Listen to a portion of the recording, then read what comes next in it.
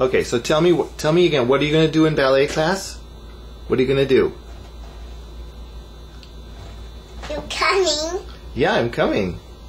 All right. So what? How do you start? What? What's the What's the first thing? Curtain. Yeah. And then look. Yeah, and then what?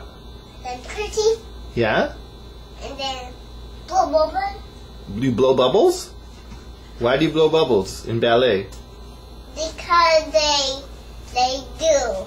Do you do uh, because they do? They do. Oh, okay. Do you do uh, releve?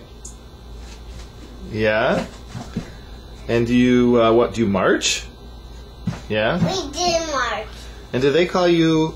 Do they call you dancers or ballerinas? Ballerinas. Yeah. And what's the song they sing at the beginning? They sing, they sing um ballerina over the door. yeah. Yeah. Yeah. Okay. When they're done Yeah. When they're done. What are you eating? blueberries. Yeah. Do you like blueberries? Yeah.